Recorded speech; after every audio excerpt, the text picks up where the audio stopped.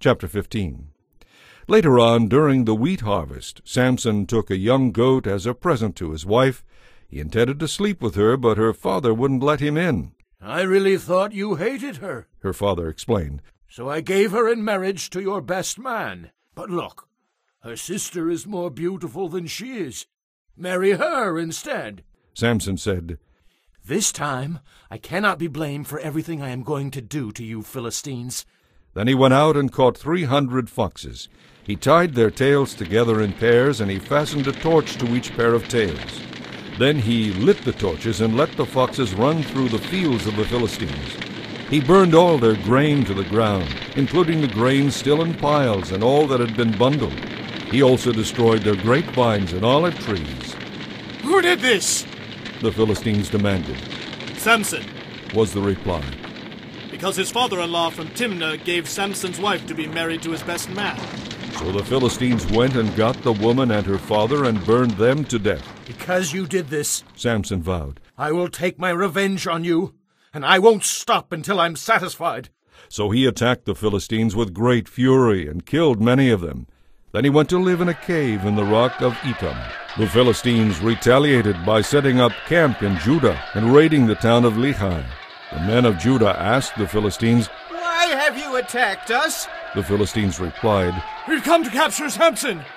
We have come to pay him back for what he did to us. So three thousand men of Judah went down to get Samson at the cave in the rock of Etam. They said to Samson, Don't you realize the Philistines rule over us? What are you doing to us? But Samson replied, I only paid them back for what they did to me. But the men of Judah told him, We have come to tie you up and hand you over to the Philistines.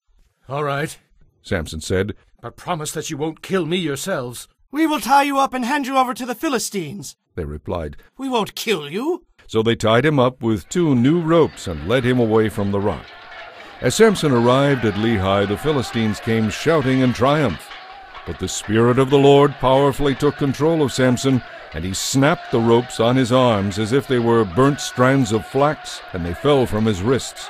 Then he picked up a donkey's jawbone that was lying on the ground and killed a thousand Philistines with it.